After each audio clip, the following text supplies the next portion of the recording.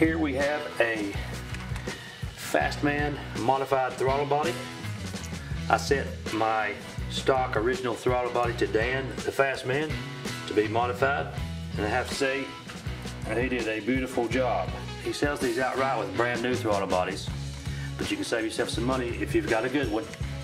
You can send to him. It'll take a little longer. You got to send it to him, and wait for him to get it back. But I have to say the turnaround time was quick. Time he got it, it was done that week, and I got it back. Package very nice as well. This is his 84 millimeter, where he actually bores this thing all the way through and installs a new throttle blade. One thing I really like about his throttle bodies that you don't see a lot of companies do, there's one other place I know that does it. They remove the front of this shaft that, that gives you four millimeter more area in here. And he also uses a nice smooth button head screw there where I've seen some bigger name companies uh, just use what looks like a wood screw. I'm sure it's not a wood screw, but it's a big flat head, a big Phillips head screw sticking up there. That can't be good for airflow. Anyway, this was, like I say, a used one I sent him. If you get a new one, it's going to look even better than this one. But he did clean it up some. It looks great.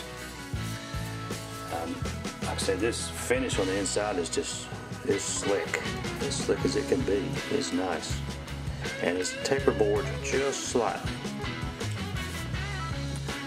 And on the back side, same thing. All bored all the way through, larger blade.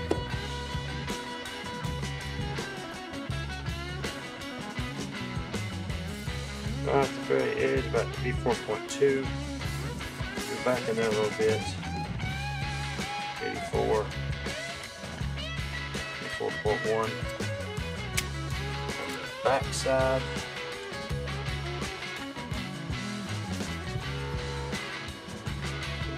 Yeah, go over 83 at the back. I won't scratch it up.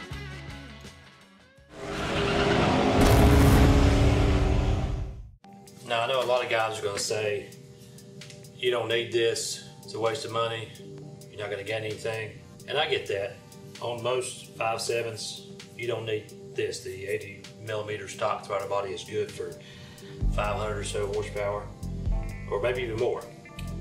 But with aggressive cam I'm going with and the heads, I think I'm going to see some gains with this. Uh, according to the research I've done, and, Dan agreed as well. I'll give him uh, all the specs of my build. He said, this is the one I want. Uh, and it's definitely not going to hurt. Um, plus, it's future proof. You know, if I want to go to a stroker kit in the future or something, this will not be a restriction. But I think I'm to see, I mean, even if it's five horsepower, I'll take it. For the money spent, I think it's worth it. And uh, 84 millimeter right here is a perfect match for the stock 5.7 intake as well.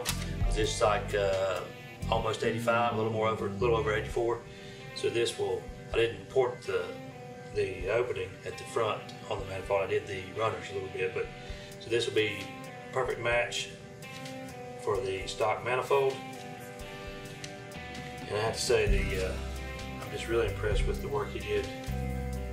I've had some other aftermarket throttle bodies that uh, were uh, hand ported, you know, and they looked great uh, too. But this is just a step above, I think.